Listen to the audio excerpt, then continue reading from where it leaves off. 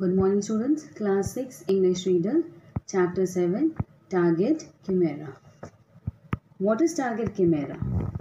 Target Chimera is a competition for middle and high school students aimed at teaching the creative process. There are different categories or areas like science, technology, engineering, mathematics, fine arts, improvisation, and service learning, real life issues in the students' own community. Target camera एक तरह का competition है जो middle high school के students के लिए होता है। इसका एम है कि वो उनको टीच करता है क्रिएटिव प्रोसेस यानी आ, कुछ क्रिएटिविटी जो वो सोच सकें और उसे इम्प्लीमेंट कर सकें उसका इसी आ, इस कंपटीशन का ये मेन एम होता है। इसमें कैटेगरीज होती हैं जो यानी जो सब्जेक्ट्स आपको दिए जाते हैं जैसे science technology engineering mathematics fine arts fine arts मतलब थिएटर या एक्टिंग इम्प्रोवाइजेशन का मतलब होता है ऑन द स्पॉट आपको कुछ टॉपिक दिया जाए, उसके बारे में आपको कुछ बोलना हो या प्रेजेंटेशन करनी हो. सर्विस लर्निंग का मतलब होता है कि आप जो रियल लाइफ इश्यूज़ होते हैं स्टूडेंट्स की या उनकी कम्युनिटी में, उसको किस तरह से वो हैंडल करते हैं. A problem or challenge is offered in each category her category में एक प्रॉब्लम और चैलेंज होता है. उसकी कुछ सब कैटेगरीज भी होती हैं. स्टूडेंट्स की टीम बनती है, जिसमें मैक्सिमम या मिनिमम कह सकते हो सेवन मेंबर्स होते हैं। हर कैटेगरी के जो मेंबर्स होते हैं, वो अपनी कैटेगरी चूज़ करते हैं, यानी सब्जेक्ट चूज़ करते हैं और उस पर एक साथ वर्क करते हैं और सॉल्यूशंस ढूंढ के उस चैलेंज को कंप्लीट करते हैं।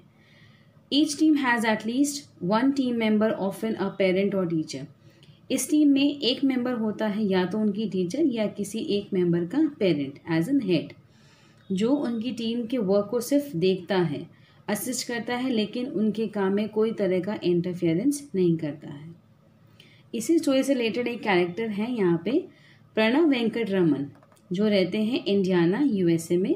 He participated in T C and shares his experience through his blogs entries read on वो अपना जो एक्सपीरियंस है, यानी उन्होंने जब इस कंपटीशन में पार्ट लिया तो वो एक्सपीरियंस कैसा रहा, उन्होंने अपने ब्लॉग एंट्रीज़ में मेंशन किया है। ब्लॉग एंट्रीज़ होती हैं, जैसे आपने देखा है इंटरनेट पे होती हैं। ये एक तरह की ऑनलाइन डायरीज़ हैं। बहुत से लोगों को अपने डे टू डे इवेंट्स को डायरी में लिखने का शौक़ होता है। जो डे टू डे उनकी वर्किंग्स रहती हैं, वो उसे डायरी में लिखते हैं। तो ये एक तरह की ऑनलाइन डायरी है, जो पब्लिक भी इसे, उसे देख सकती है। It relates to a particular topic जो उसे वो कैरी ऑन करते रहते हैं। और उसके बारे में लिखते रहते हैं। It is not a kind of formal ये एक तरह का इनफॉर्मल होता है और पंक्चुएशन इतनी इंपॉर्टेंट नहीं होती है इस ब्लॉग में। Let's read the story third October two thousand eighteen Pranav ये स्टोरी खुद बता रहे हैं, इसलिए लिखा है today my mom asks me about my plans for target किमेरा उनकी मदर ने उनसे पूछा कि तुम्हारा क्या प्लान है इस बार कंपटीशन में पार्ट लेने का? तो प्रणव ने कहा I told her I wanted to take a break this year उसने कहा, इस साल मैं एक ब्रेक लेना चाहता हूँ so I don't want to take part in this she was upset she thought I enjoy T C I do it's just that I am slowly growing apart from the guys in my T mama x mama upset हो गई और उन्हें लगा कि ये हर बार enjoy करता है but मामा को शायद ऐसा नहीं रियलाइज़ हो रहा था क्योंकि ये प्रणब को रियलाइज़ हो रहा था कि स्लोली उसके जो टीम मेंबर्स हैं, उनसे वो दूर हो गया था। अब उनके बीच कोई ऐसा ऐसे टर्म्स नहीं थे कि वो एक दूसरे से कनेक्टेड थे। तो उसे लगा कि उसकी जो मदर है वो इस बात को समझेंगी। बट उनकी मम्मी ने इस बात को नहीं समझा। And she still wanted to को coach the team though she also said if I continue with it it would help for college उन्होंने कहा कि अगर तुम इसमें कंटिन्यूशन यानी कंटिन्यूटी रखते हो, यानी every year if you take part in this competition ये आपके लिए हेल्पफुल है आपकी जो अपकमिंग कॉलेज आएगी, यानी जब कॉलेज स्टडीज़ करो कि वहाँ जब बड़े बड़े चैलेंजेस होंगे तो आप उन्हें ईजिली सॉल्व कर सकोगे। So it's a kind of you know practice workshop for you you should attend. She said that i had said this sort of things about not wanting to participate in tc last year too. Pranav ने last year भी कहा था कि मैं participate नहीं करूँगा but फिर भी उन्होंने पार्टिसिपेट किया था। I kind felt force to do T C then I thought about all the good experiences I had with T C maybe it would be bad after it wouldn't be bad after all okay I do it उन्होंने अपने जो previous experiences थे, उनको याद करते हुए सोचा कि ठीक है देखते हैं। लेट्स टेक अ पार्ट और उन्होंने हाँ भर दी। 15 अक्टूबर 2018 सुबह आठ बजे टीसी यानी जो कंपटीशन था टारगेट की मेरा, उसकी फ़र्स्ट मीटिंग थी। आई वॉज़ सरप्राइजिंग एक्साइटेड यहाँ पे आई कौन है? यहाँ पे आई है प्रणव, क्योंकि प्रणव हमें ये स्टोरी बता रहे हैं नरेट कर रहे हैं। तो कीप इन माइंड कि हम प्रणव के अकॉर्डिंग स्टोरी को समझ रहे हैं। 15 October 2018 same day 5 PM team meeting got over team में चार लोग आ गए थे।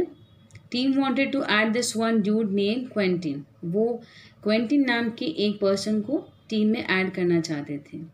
प्रणव ने कहा I told them no I didn't like him but they just said majority rules उन्होंने कहा, नहीं मेजोरिटी रूल करती है, इसीलिए हम इसे अपना मेंबर बनाएँगे. Twenty second October two thousand eighteen all five members एक मेंबर तो प्रणव खुद थे, बाकी फोर थे Ron Kath Quentin Warren I showed up for practice today showed up मतलब हम प्रेजेंट हुए प्रैक्टिस के लिए. अब सो जो सबसे पहला काम था वो था चूज़ द चैलेंज यानी किस फ़ील्ड में आप चैलेंज को चूज़ करेंगे? Which category you will be choosing यहाँ पे जो रॉन थे, Ron wants a technical challenge Ron जो थे, वो चाहते थे कि उनकी टीम टेक्निकल चैलेंज को एक्सेप्ट करे, क्योंकि उन्हें लगता था कि वो बहुत अच्छी मशीन बिल्ड कर सकते हैं because he had lot of ideas about this particular field I want the scientific challenge Pranav कहते थे कि मुझे साइंटिफिक चैलेंज चाहिए। उन्हें लगता था कि साइंस साइंस जो फ़ील्ड है, उसमें इतना ज़्यादा स्टफ़ होता है कि हम सभी को उसमें इंटरेस्ट रहेगा। बाकी जो टीम मेट्स थे, वो अभी तक अनडिसाइडेड थे, यानी उन्होंने कुछ भी सोचा ही नहीं था। ना उन्होंने अपने से कुछ सोचा था, ना वो हमारे किसी चैलेंज को सपोर्ट कर रहे थे। Twelfth November 2018 it's been three weeks and Ron still wants technical challenge यानी थ्री वीक्स हो गए और अभी तक उनका जो चैलेंज था, उन्हें लेना था, वो डिसाइडेड नहीं था। रॉन अभी भी टेक्निकल चैलेंज ही लेना चाह रहे थे। Keith is supporting him Keith उसे सपोर्ट कर रहे थे। आई कैन बिलीव प्रणव को बिलीव नहीं हो रहा था कि कैथ उसे सपोर्ट कर रहे हैं। और जो एक और मेंबर थे क्वेंटीन वो तो आज आए नहीं क्योंकि वो अभी भी अपनी टेनिस प्रैक्टिस में ही बिज़ी हैं। 19 November 2018. Oh, we ended up choosing the technical challenge. Finally, जो कैटेगरी चूज़ हुई वो हुई technical challenge any will have to build a machine and write a skit अब उन्हें एक मशीन बनानी थी और उसी के बेस जो उनका प्रेजेंटेशन होगा उससे रिलेटेड एक स्किट लिखनी थी. ओके स्किट होता है एक छोटा ड्रामा टाइप जो आप प्रेजेंटेशन देते हो अपनी वो ड्रामा फॉर्म में है so that it becomes interesting for the viewers to have a look my mom keeps asking why this matters mama ने बार बार कहा कि तुम्हें इन सब चीज़ों से फ़र्क क्यों पड़ रहा है? तुम तो पार्ट ही नहीं लेना चाह रहे थे। बट अब ये प्रणव के अकॉर्डिंग ममा नहीं समझ रही थी कि प्रणव को क्या प्रॉब्लम्स फेस करनी पड़ रही थी। Seven January two thousand nineteen practice was great रही यानी आज प्रैक्टिस बहुत अच्छी हुई। क्वेंटीन आज भी नहीं आ सके प्रैक्टिस के लिए, और वॉरन ने अपना होमवर्क नहीं किया था। होमवर्क इन द सेंस सभी मेंबर्स को अपना अपना पार्ट बताया गया स्किट के अकॉर्डिंग प्रिपेयर करने के लिए। तो वॉरन ने अपनी प्रैक्टिस अच्छे से नहीं की थी। लिविंग दैट जो बाकी मेंबर्स थे, उन्होंने ये कुछ इम्प्रोवाइजेशन के गेम्स खेले। इम्प्रोवाइजेशन जैसे मैंने आपको बताया कि ऑन द स्पॉट यानी बिना प्रिपरेशन के जब आपको कुछ कहा जाए करने के लिए, ये किसी प्रेजेंटेशन के लिए that is termed as improvisation तो उन्होंने कुछ ऐसे इम्प्रोवाइजेशन गेम्स खेले जिसमें उन्होंने थीम रखा कि मान लो कि सब खो गए हैं और वो किसी स्ट्रेंज स्टेट सिटी में अपना वे ढूंढ रहे हैं तो वो किस तरह से ढूंढेंगे? उन्होंने बहुत सारे टेक्निकल गेम्स भी खेले ब्रेन गेम्स भी खेले। ब्रेन स्टॉमिंग जहाँ पे आप बहुत सारी आइडियाज़ को डेवलप करते हो, अपने माइंड में उनको थिंक करके and you then solve a problem यानी किसी प्रॉब्लम को सॉल्व करने के लिए, उसका सोल्यूशन ढूँढने के लिए व्हेन यू गैदर अप आप बहुत सारी आइडियाज़ को एक साथ सम अप करते हैं।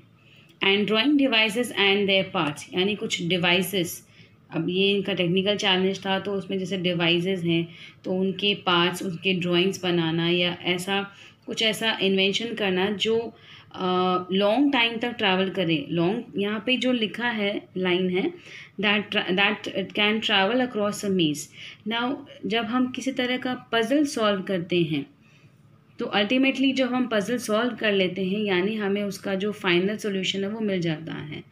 That means we have found the way जो वे हमें जाना था, हमने पज़ल के अकॉर्डिंग उसे सॉल्व कर लिया है, उस फॉर्मेट में। तो वो इसी तरह के डिवाइसेस को ड्रॉ कर रहे थे जो लॉन्ग टाइम तक यूज़ हो सके एंड उनका कुछ पॉजिटिव पर्पज़ हो।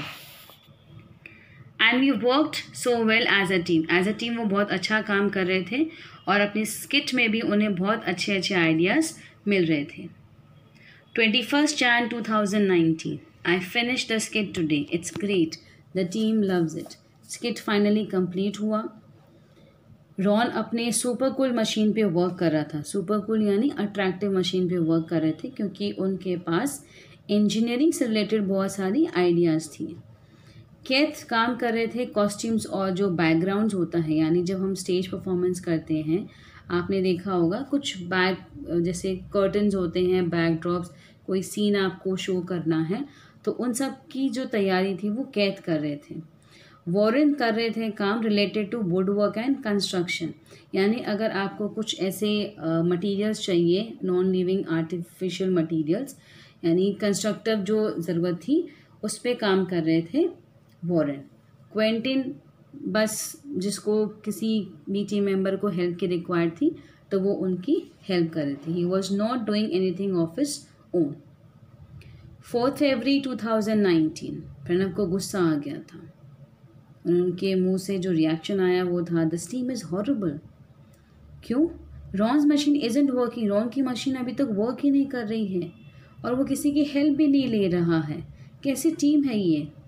Quentin thinks he is all knowing and tries to take control of everything Quentin को लगता है कि मुझे सब कुछ पता है। आई नो एवरीथिंग और मैं सब कुछ कंट्रोल कर सकता हूँ। कैथ का भी काम पूरा नहीं हुआ था। रीजनल्स यानी जो कंपटीशन था रीजनल लेवल का, सिर्फ़ वन वीक रह गए थे। What if we don't get this done क्या होगा अगर हमारा प्रोजेक्ट पूरा नहीं होगा?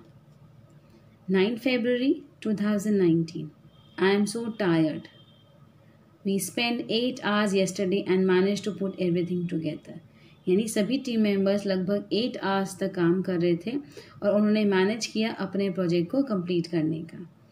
Ron and Kath spend three extra hours working Ron और कैथ उससे भी ज़्यादा थ्री आवर्स एक्स्ट्रा वर्क कर रहे थे। I spend two hours doing paper work for our submission submission यानी आप किसी भी कंपटीशन में जब पार्ट लेते हैं तो कुछ फॉर्मेलिटीज़ होती हैं, यानी पेपर वर्क होते हैं। तो प्रणव ने दो घंटे एक्स्ट्रा काम किए और जो भी पेपर वर्क सबमिट करना था, उस पर वर्क किया। आज उनके मुँह से बहुत ही स्पेशल लाइन अपनी टीम के लिए निकली, वो थी this team is amazing 11 February 2019 we came first at regionals. There is no way I would ever think about leaving this team. जो एक्सपीरियंस प्रणव का रहा इस कंप्लीट आप कह सकते हो जो टीम वर्क उन्होंने किया इस चैलेंज को पूरा करने के लिए। लास्ट में उसका रिज़ल्ट ये आया कि वो फ़र्स्ट आए इस कंपटीशन में। और लास्ट लाइन उन्होंने ये कही द इज़ नो वे यानी कोई ऐसा कारण ही नहीं है कि मैं अपनी इस टीम को छोड़ने के बारे में सोचूं। ये एक तरह का आप कह सकते हो जो चैप्टर है it is a kind of moral आपको एक लेसन देता है कि when you work in a team आपको थोड़े से कॉम्प्रोमाइज़ करने पड़ते हैं। हर बार आप ये सोचो कि मैं सुपीरियर हूँ, सब कुछ मैं ही करूँगा तो पॉसिबल नहीं है। Until a team work with complete dedication the team will not succeed तो अगर टीम को सक्सेसफुल होना है तो सभी मेंबर्स को पॉजिटिव थिंकिंग रखनी होगी, एक दूसरे की हेल्प करनी होगी और सभी को इक्वल मानते हुए। ऐसा नहीं कि एक सुपीरियर हो या एक इन्फीरियर हो, मैं ही सब कुछ करूँ या मुझे ही सब कुछ आता है, ये थॉट हमें नहीं रखनी चाहिए। So we need to be always working in a positive thought when we are in a team challenge जब भी हम टीम चैलेंज में कोई काम करें, हमारी थॉट्स हमेशा पॉजिटिव होनी चाहिए और हमें हर चीज़ को एक्सेप्ट करने, यानी किसी भी तरह के एक्सेप्टेंस की टॉलरेंस की कैपेसिटी होनी चाहिए।